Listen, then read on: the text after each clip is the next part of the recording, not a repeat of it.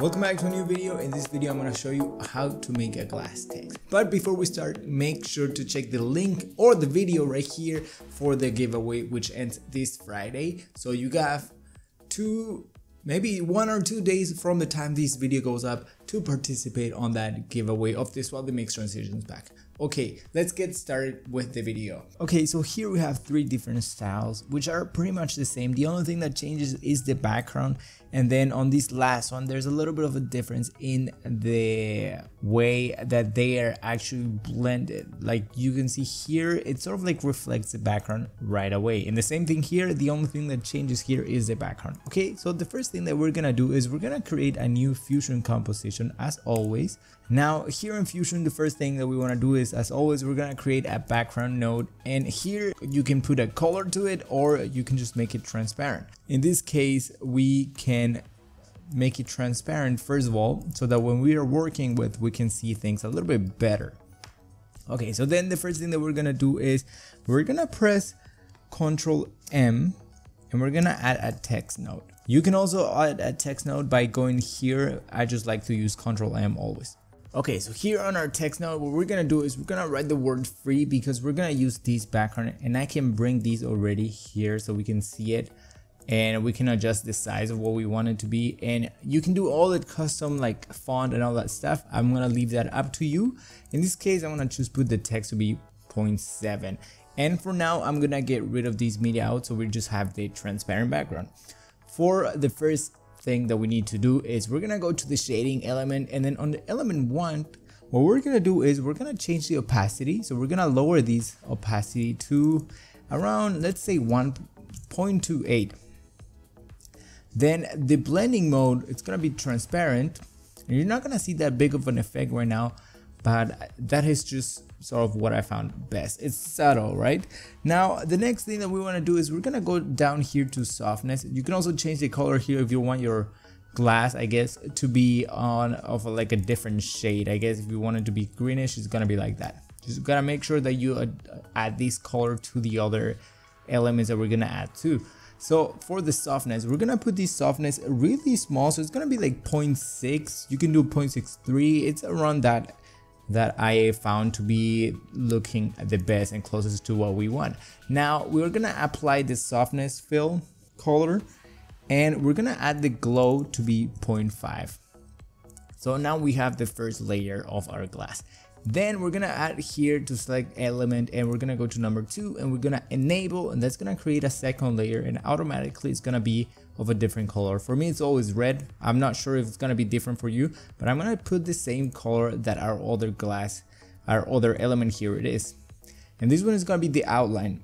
So for the outline, we're gonna leave the opacity at one and the blending mode, we're just gonna leave it as it is. The thickness two you can play around if you want it to be a little bit smaller too.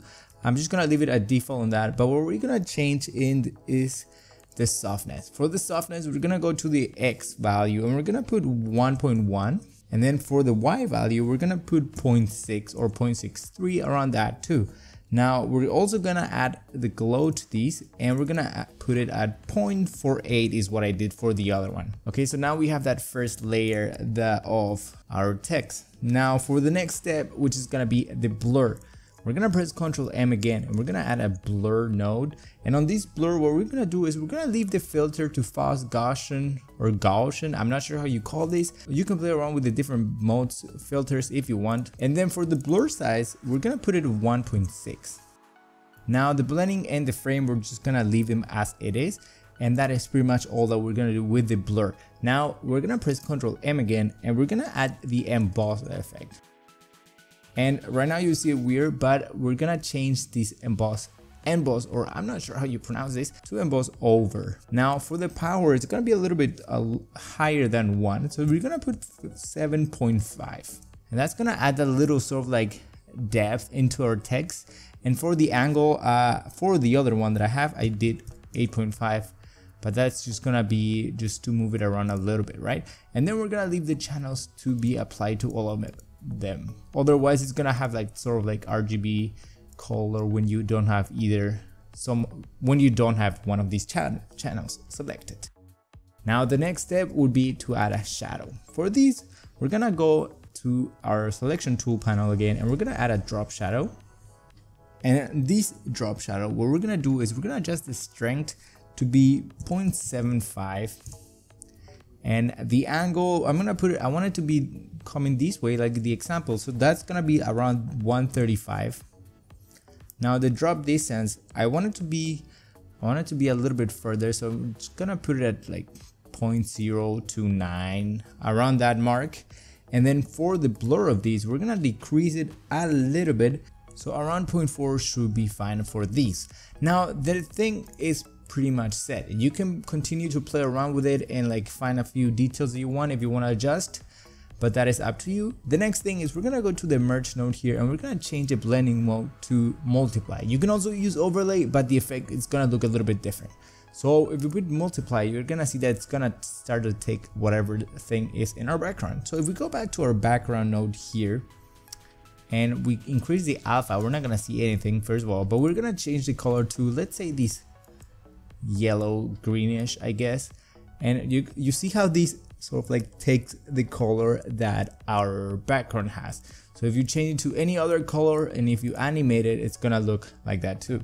Okay, so then what we wanna do next is we're gonna add that sort of like waviness effect. For that, first of all, we're gonna add our media in here so we can see how it looks. And it looks sort of like a glass a little bit, maybe more like epoxy feel kind of thing, but the next thing that we want to do is so to sell the effect a little bit a little bit better is we're gonna press Ctrl M and we're gonna add a waviness effect. Now by default this is gonna affect the whole thing. So what we want to do is we're gonna create a mask so that it only affects the inside of our text.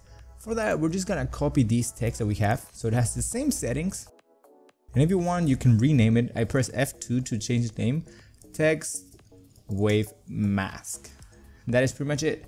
Then we're gonna connect this and we're gonna adjust a few little things here on the element 2 which is the, the border of our glass. So here we're gonna change the thickness of it, we're gonna lower it to be like 0.071 maybe. That's what I had in the other one. And now you have these set up, right?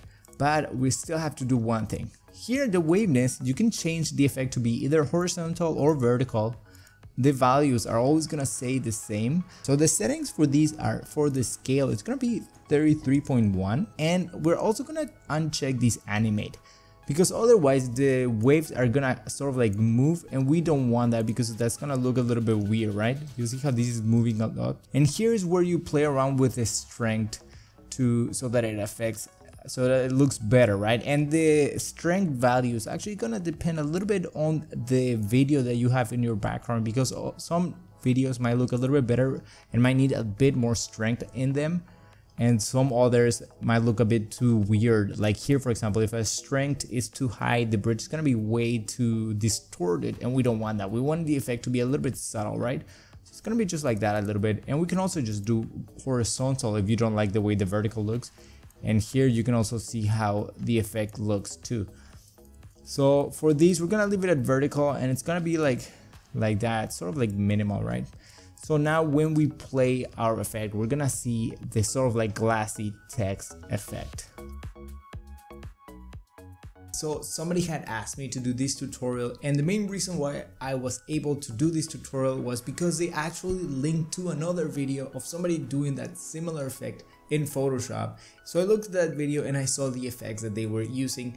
And that is how I was able to figure out how to actually do it in Fusion because the the effects have pretty similar names on the different softwares. Doesn't matter what software you use right? So that is why i was able to figure out pretty much in like five to ten minutes if you have a tutorial that you want me to make and that you have found it in another software, that's the best way for me to be able to figure out because I don't have hours to be just like trying to figure out from just looking at a video like that unless it's like really simple, right? But that is pretty much it for this video. Thanks for watching and I hope to see you in the next video here in SUALVI. Bye.